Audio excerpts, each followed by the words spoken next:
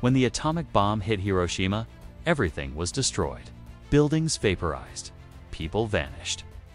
The city became a wasteland. Scientists predicted nothing would grow for 75 years. But six weeks later, something impossible happened.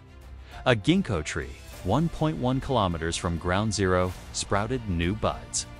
The tree was charred and split, but it was alive.